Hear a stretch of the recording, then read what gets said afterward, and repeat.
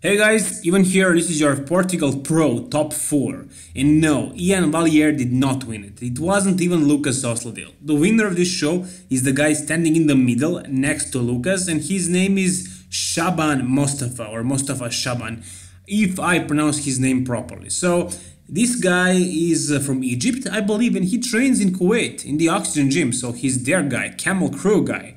And um, it wasn't politics for sure, he absolutely deserved it.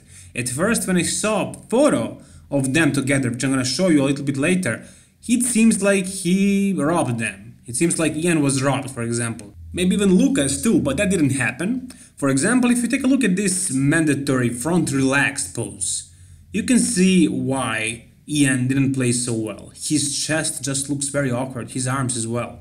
He's a huge bodybuilder, a great bodybuilder, but this pose, for example, looks kind of odd, doesn't look perfect, doesn't look very good. For some reason, his chest looks awkward. The same thing here, pretty much, in his uh, front double bicep.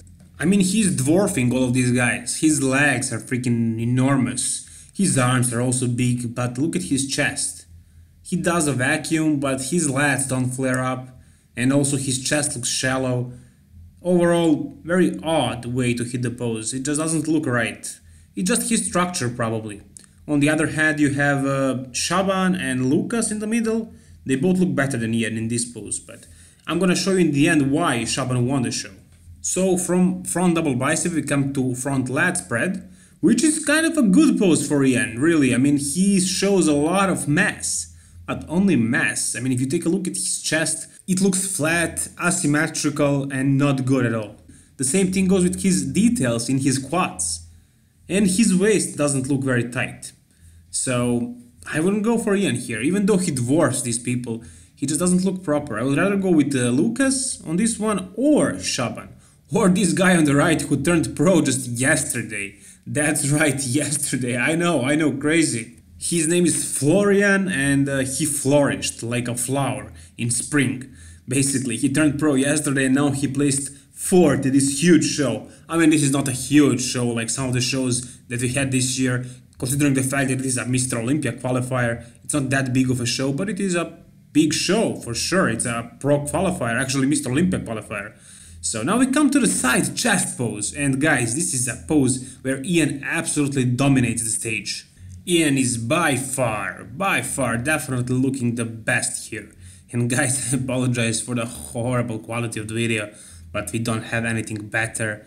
Nobody is making official 4K videos of these shows. This is probably somebody who filmed that with a camera, with a horrible camera actually, but it is what it is. Anyways, uh, here we have side tricep. Once again, very, very strong pose for Iain. He absolutely dominates the stage as well. Here, like the one before. So all of his side poses are actually showing a lot of thickness that he is known for. So for that reason, side poses are great for him, but other poses, front and back poses, are really hurting him a lot. Basically, he is placing highly simply because of the mass that he possesses. He's a beast, and because of the thickness that he has, especially shown from the side. But other than that, and also most muscular, most muscular on him is looking freaking impressive.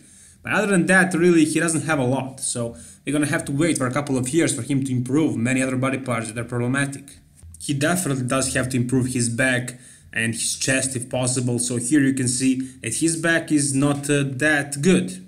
He is showing a lot of mass for sure, but the detail, the very detail in his back is not there. So for example, Lukas Osladil, even though he poses with his butt like a bikini girl, has better back than Iain. And I'm not saying that his way of posing is wrong, that it's hurting him.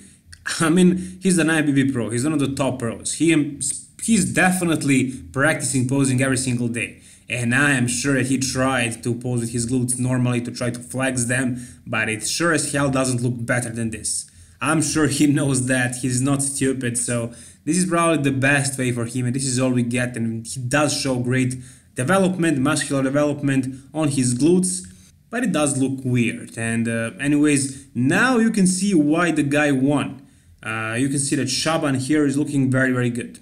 He's shorter than them, but uh, compared, I mean, from the back, compared to the other guys, he's not blowing them away with his back, but he is better in every single pose. I mean, he has everything, he's complete. Iain has many weak poses, same thing with Lukas. This guy is the most complete. He has the biggest amount of good poses. Even though his back is not absolutely annihilating the lineup, it is very impressive. Look at his back. It's very good. A lot of details, a lot of thickness, a lot of separation, very big, very developed, great back, complete back, very good back. So I think that's the main argument that you can have for him winning this show. And I think he deserved it for sure. But the guy on the right, Florian, maybe he was robbed actually, maybe he deserved better. I mean, he looked very good, but I mean, for his first pro show after turning pro a day before, it's really good. And here you can see Iain's most muscular, very good. This right here is your winner, Shaban Mohammed. Deservedly so, he, he won the show. Lukas conditioned as usual, but structurally not as good as the other guys. So he did not win the show, but he was good enough to take second place. So he beat Iain. Iain was third actually. And I think that was how it was supposed to be. Iain looked impressive, freaking impressive like hell from the sides and in the most muscular, but not much else from that. You had Samson Dauda taking 5th place, very big potential I would say. If he adds a little bit more muscle and comes a bit more matured, he can place high. Henry Pierre Diano surprisingly cracks the top 10, which was really surprising. I didn't expect him to place that well in a stacked lineup of 21 pro bodybuilders open class. You had uh, Milan Sadek who took only 8th place, so very unfortunate for him. He'll probably not be at the Mr. Olympia. So once again, Henry Pierre Ano, who transferred from Classic Physique, being 4th place at the Classic Physique Mr. Olympia, coming to Open Division, took 10th place at a very good professional IBB Men's Open show, which was surprising. Once he carved up, he looked much fuller, much bigger.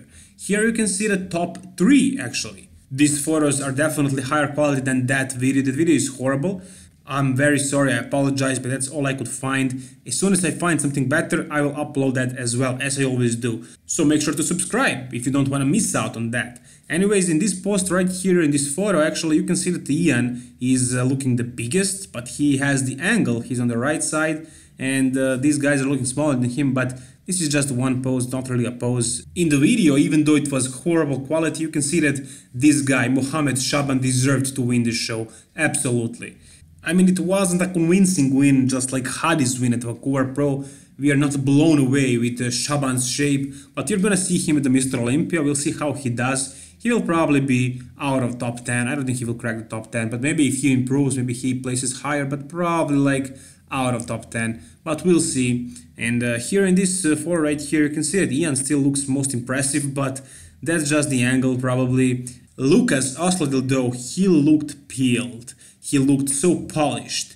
Very good physique of him, very very good addition, but still his structure didn't allow him to win the show, but I think based on the points, he has enough to compete at the Mr. Olympia, but if he competes at the Tampa Pro and gets a few more points from there, he will actually be sure to compete there, I'm pretty sure, because he competed many, many times this year, showed a lot of great packages, he's always conditioned, but I think this time his best was shown because he looks so freaking peeled, polished.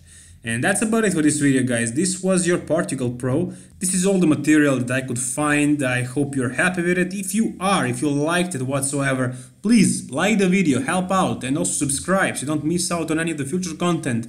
I'm uploading a Q&A video tomorrow. I'm editing it tonight and tomorrow in like 10 hours from now, maybe 15 hours from now, you're gonna see Q&A video uh, and it's gonna be a great one. So please guys, stay tuned, subscribe and all the best. Bye bye.